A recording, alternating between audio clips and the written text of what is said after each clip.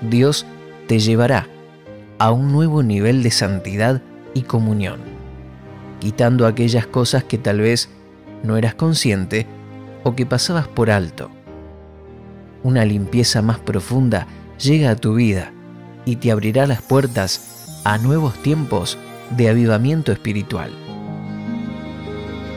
En Colosenses capítulo 3, versículos 5 y 6 dice, Por lo tanto, hagan morir en ustedes todo lo que sea terrenal, inmoralidad sexual, impureza, pasiones desordenadas, malos deseos y avaricia. Eso es idolatría. Por cosas como estas les sobreviene la ira de Dios a los desobedientes. Y en Efesios capítulo 4 versículo 32 dice, desechen todo lo que sea amargura, enojo, ira, gritería, calumnias y todo tipo de maldad. Aparte de las cosas obvias como robar, mentir o matar, el Señor nos muestra otro tipo de pecados a un nivel más profundo. Estos versículos se refieren a cosas como malos deseos y todo tipo de maldad. Si hilamos más fino en nuestro interior, podremos reconocer formas de maldad más sutiles, pero que requieren de una total limpieza.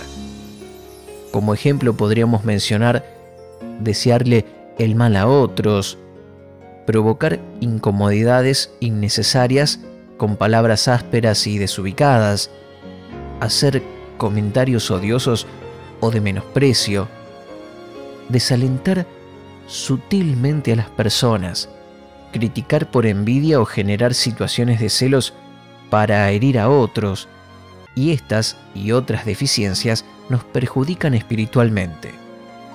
Si quieres subir a otro nivel de revelación y bendición, debes corregirlas por completo, renunciando a ellas y haciendo el bien. Hagamos juntos esta oración.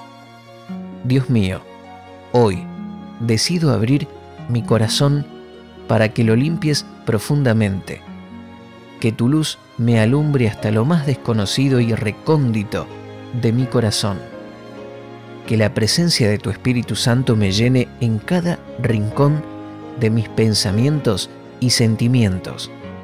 Te lo pido en el nombre de Jesús. Amén.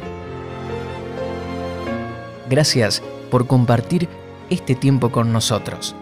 Te saludamos desde avanzapormás.com. Estamos para bendecirte.